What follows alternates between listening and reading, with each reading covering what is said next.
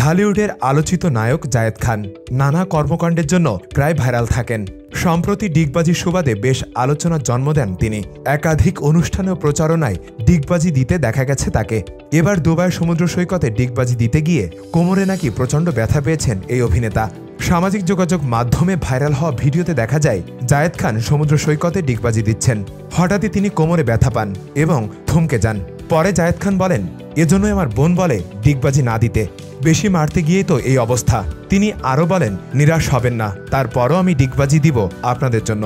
এদিকে জায়েদের ঘনিষ্ঠ এক সূত্রে জানা গেছে, খুব শীঘ্রই চমকপ্রদ একটি কাজ নিয়ে হাজির হচ্ছেন জায়েদ খান, যেখানে তার সঙ্গে দেখা যাবে বলিউডের এক নায়িকাকে। তবে সেই কাজটি কোন মাধ্যমের জন্য, সেটা এখনও স্পষ্ট না। তবে জায়েদ খান গণমাধ্যমে জানিয়েছিলেন দুবাই শো শেষ করে জুলাইয়ের প্রথম সপ্তাহে কানাডা ও যুক্তরাষ্ট্রে কয়েকটি শো করবেন। সেই শোগুলোতে তার সঙ্গী হবেন চিত্রনায়িকা নুসরাত ফারিয়া। তবে তার আগেই যে নতুন চমক দিতে যাচ্ছেন এই অভিনেতা, তা একেবারে স্পষ্ট।